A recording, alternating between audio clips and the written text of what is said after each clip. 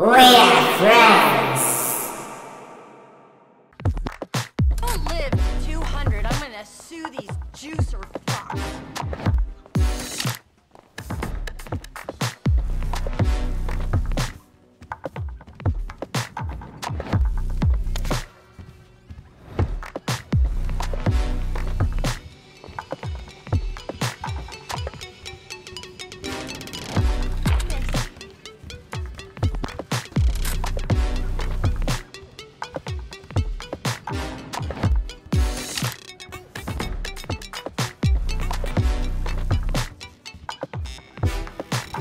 Surely not spending money on a bunch of liberal arts degrees has got to count for something.